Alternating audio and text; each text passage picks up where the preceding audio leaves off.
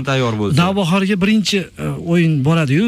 O'sha jamoaga achinaman ha o'sha kuni juda qiyin bo'ladi. Surxon bilan bo'ladi.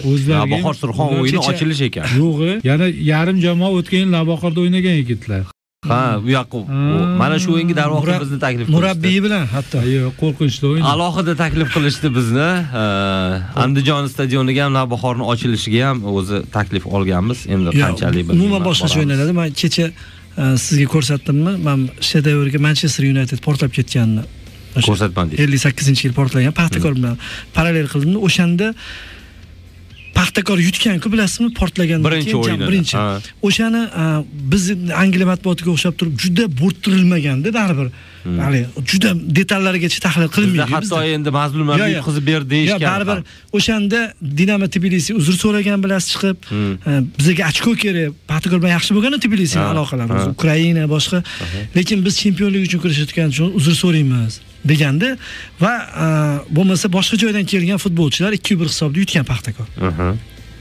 Man shuni e, uncha tushuna olmasdim. Chunki e, birinchidan chetdan kelgan futbolchini portlab ketgan paxtakorchilarni o'ylashi qanchalik bo'ladi? His qilishi his qilishi. Lekin his qilgan ekan demak shunaqa bo'lgan deb o'yladimda. Kecha manchesterni tayyorlayotganda parallel tushdida shu narsa. Endi u yerda gapirmayapman o'n uch kundan keyinmi manchesterga yangi futbolchilar kelgan. Bor futbolchilar ham bordi. Port hammasi portlab ketmaganku.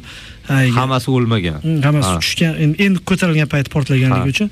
O'shalar ham kelgan. Hamma o'tirganda sheffield wednesday jamoasi bilan o'ynagan ekan. Mhm. va o'sha futbolchilarni xotiralarida kelyaptida. U kuni bizga qarshi oltmish ming odam o'ynadi degan. Hmm. biz hech narsa qilolmasdik. Bo'lmasa chempionlikka da'vogar jamoa bo'lgan. O'sha Sheffield, ha. Biz ularni yutolmasdik degan istalgan jamoa yig'ilib kelsa ham ular juda katta narsaga katta narsa tikilgandi o'yinga degan hmm. biz bilan o'n ikkita odam o'n bitta odam emas demoqchimanki navbahorda shu- shunaqaroq holatda ertaga turnir jadvalida pastki o'rinda yana bir ikkita muvaffaqiyatsizligi uchrab turib kimni qabul qiladigan bo'lsa stadionga borib oltmish nechidir ming muxlisga qarshi o'ynashiga to'g'ri keladi. To'g'ri. oldingi yilgidan yomonroq bo'ladida. Ha, to'g'ri. Andijonda ham shunaqa shuning bo'ladi. uchunchi bormasdan nol uch haligi yoziladiyu nima deyiladi? Texnik texnik mag'lubiyat. Mag'lubiyatga rozi bo'lish kerak.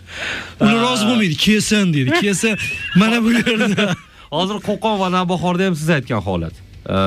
Xuddi shunaqa.